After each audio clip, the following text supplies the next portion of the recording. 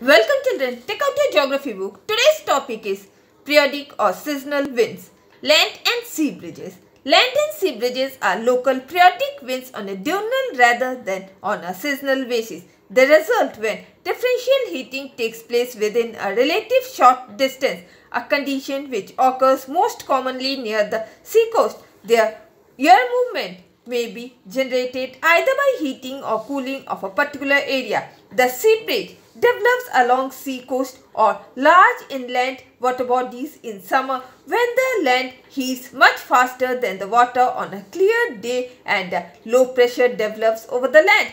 Under this condition in the day, the air blows from the sea to land as there is high pressure on the sea and wind always blow from high pressure to low pressure. The air movement from the sea to land reaches the greatest intensity during the afternoon. In the equatorial region, it is a regular phenomena where it brings some relief to the hot humid coastlands. Elsewhere, it is generally a summer phenomena. It varies considerably in strength along the same coast, being influenced by topography. The sea rarely has a depth of more than 1000 meters and its maximum strength does not extend inland more than 50 km. It begins offshore in the late morning hours and gradually extend inland to decrease the afternoon temperatures. Towards evening, it subsides because of sea breeze areas on the immediate coast in middle latitudes and the tropics may have lower temperature than a few kilometers inland. The sea breeze brings cool air from the seas thus dropping temperature. The land breeze is a diurnal wind blowing from the land out to sea. It is caused by the differential heating of land and sea. The cooling of the air over the land by radiation during the night causes the air to descend and flow seawards. During the night there is high pressure over the sea as it takes more time to get healed and cooled.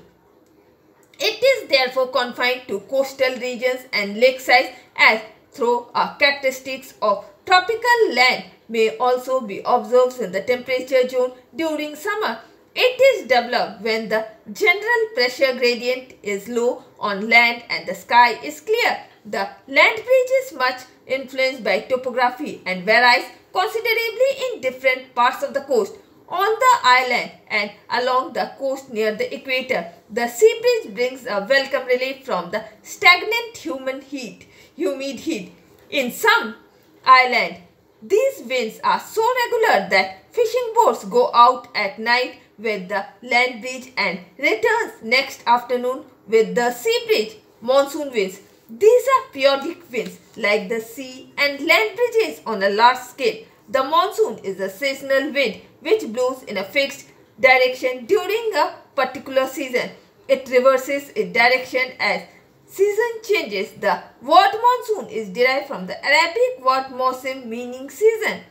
This wind develops due to differential heating of land and sea temperature. Hence, they can be considered as land and sea breeze on a large scale.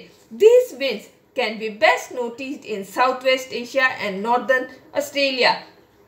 They are divided into two wind systems and the summer monsoon and the winter monsoon. Summer monsoon.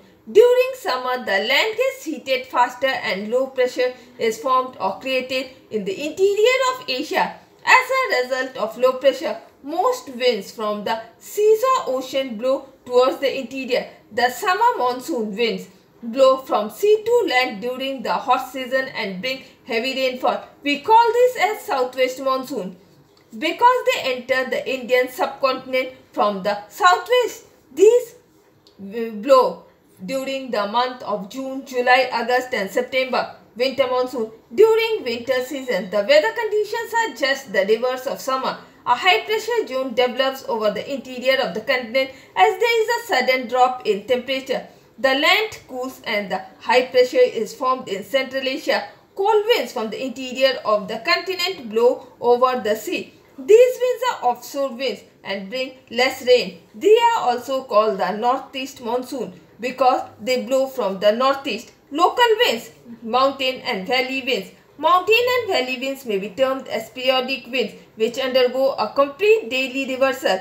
They alternate in direction in a manner similar to the land and sea breeze on mountain side under a clear night sky. The higher land radiates much heat faster and is cooled and the air comes into contact with it. The cool denser air then flow down the mountain slope into the valleys. These winds are cold and dry since they blow from the cold ice cap region. Katabatic and anabatic winds. Katabatic is a local wind caused by the flow of air flowed by radiation down mountain slopes and valleys. It is also caused by the flow of cold air down the slopes of ice caps such as Antarctica and Greenland. It is caused by ground surface cooling as a result of radiation which in turn cools the lower air layers. With the rapid loss of heat by radiation, the mountain ice cap becomes cold and the chilled air moves downward due to the force of gravity. The direction of flow is controlled almost entirely by orographic features. Anabatic is an upslope wind formed when air on the hillsides is heated by insolation to a greater extent than here at the same horizontal level but vertically above the valley floor. This causes convectional rising of the heat here which is replaced by cooler air from the valley floor. The local winds may be classified as number 1 hot local winds, number 2 cold local winds. Some of the hot local winds are Harmattan, Khamsin, Loo, Sirocco and Zonda and the cold local winds are Blizzard, Bora, Buran, mm, Friagem, Grelly, Levanter, Maestro, Mistral, Foyne and Nevadas. Not, Norte, Northern, Pampero, Papeque, Polar Outbreak, Purga, Solano, Southerly Buster, uh, Tramonto, Vasco, Williwaw. Harmattan, hot. It is a strong northerly, northeasterly wind experienced in West Africa, blowing direct from the Sahara Desert, it is so hot, dry and dusty that sometimes it split the trunks of trees through Mali and Niger. When it penetrates to the Guinea coast in winter, it provides a welcome relief from the mist, heat and is beneficial to health. On the other hand, it carries with it abundant dust from the desert and a thick haze is sometimes formed which impedes river navigation. It may cause severe damage to crops it is so dry and dusty as to be often injurious to health. Its average southern limit in winter when its equatorial belt of low pressure is along to south of Guinea. Coast is about 5 degree north. In midsummer, however, it is about 18 degree north. Khamsin, which is a hot wind, it is a hot and dry southerly wind experienced in Egypt. In character, it resembles to the Sirocco of North Africa. According to Arabs, it blows for a period of 50 days from April to June. The name Khamsin being the Arabic word for 50, it allows it blows ahead of the depression which move eastwards along the Mediterranean Sea or across Africa and often carries with it considerable um, quantity of dust from the interior south. It is also known as Shia. And with this, I am ending my today's class. Goodbye.